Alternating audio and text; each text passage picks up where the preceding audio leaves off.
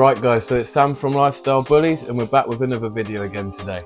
So today we're going to go into the American Bully breed history. We're going to break down what breeds it was that they used to get the American Bully breed and we're going to say whether it was bred to be an aggressive dog like most of the people out there say it was.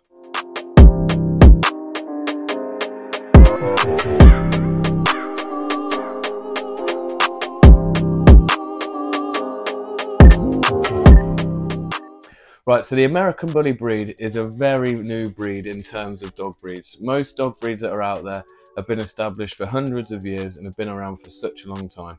That's not the case with the American Bully. The American Bully is a very new breed. So what it means is, is it's not established itself very well in the dog community. So the American Bully, where does it start? So it started with the idea of crossing American Pit Bull Terriers with different American Staffordshire Terriers. The aim of this and the complete aim of this was not to breed an aggressive dog.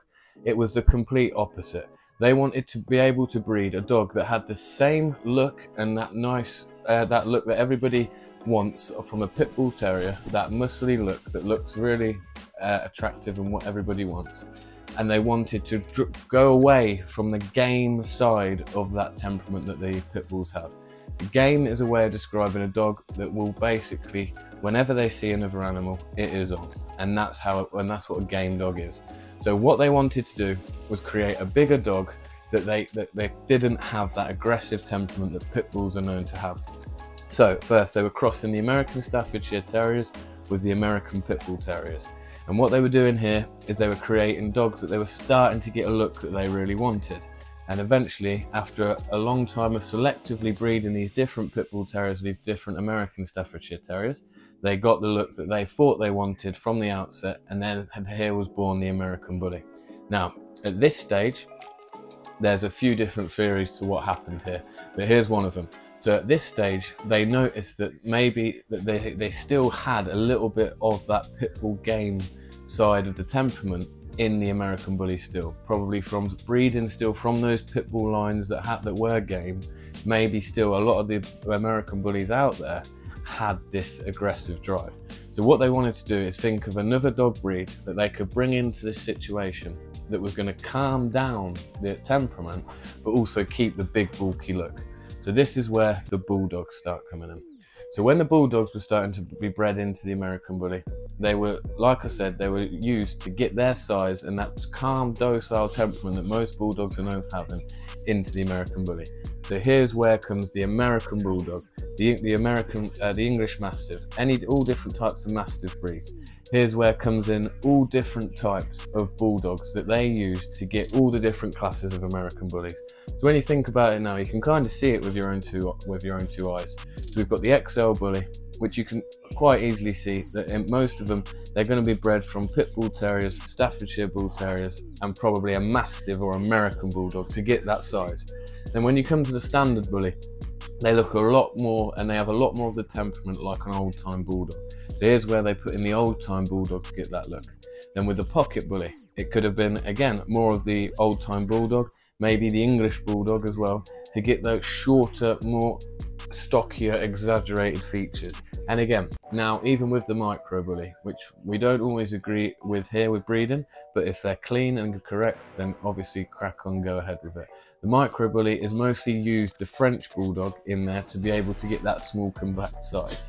So what you can see from what I'm saying already is the American bully, and that's not just like there will be many other breeds that have been put in there to get the look that we have today.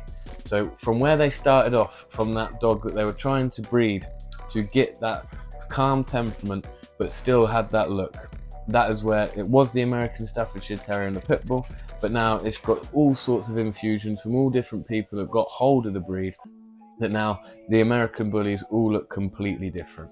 So here's where it went wrong: is when this started to really kick off and people saw that the American Bully breed could make money. The problem was is they started to sell dogs that weren't American Bullies. People did as American Bullies because pit bulls and American Staffordshire Terriers look a lot like American bullies when they're puppies, people saw the money that they could make from the American bully trade and started selling pit bulls as XL bullies. In turn, what this meant is a lot of people actually ended up in having pit bulls instead of XL bullies. So that aggressive temperament came out. And then this is also the problem with, with, the breeding of them. When people carried on breeding these dogs, they did not selectively breed those dogs like the, the people who made the American Bully intended to. They did not watch out for that temperament and they did not keep breeding away from the game temperament to try and get the docile temperament of the bulldog. What they instead, what they kept doing was keep getting these game lines of pit bulls and breeding them back in. And from that, you don't really get the real look of an American Bully either. They never have the breed type, but these dogs do have that aggression of the American Pit Bull Terrier still now. And these are the dogs that have been causing all the attacks in this country, in the UK, and the reason of why they've been banned. So, the American Bully is a misconception. It is always, it was always bred to be bred to be a family companion, and that is what the real American Bully is.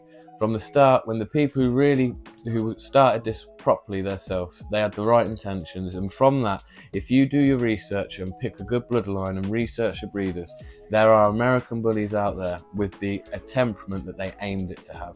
That docile temperament that just acts like a family dog, but still has that look of a pit bull that they desired. Obviously, as we know, there's all sorts of different dogs that have been put in there and maybe mixed in there along the way, including the Rottweiler, which is one that we see a lot. The Rottweiler was maybe put in there, they say, to get the size of the American Bully, and then came along the tri-colouring that the Rottweilers have. They liked on the American Bully. That's now how we have lilac tri, chocolate tri, and all these different colours of bully. So the American Bully breed, because it's so new, what it means is there's so much so many people are uneducated about that breed. So what we need to all do is learn about the American Bully, learn about the different breeds that were put into it to get where we are today.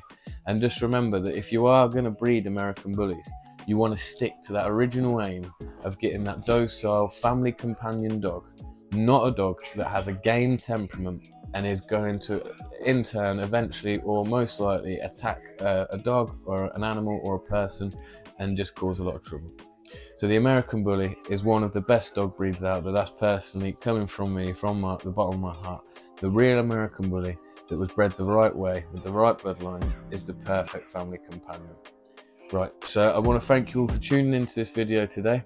We're a big, big thank you for all the support recently.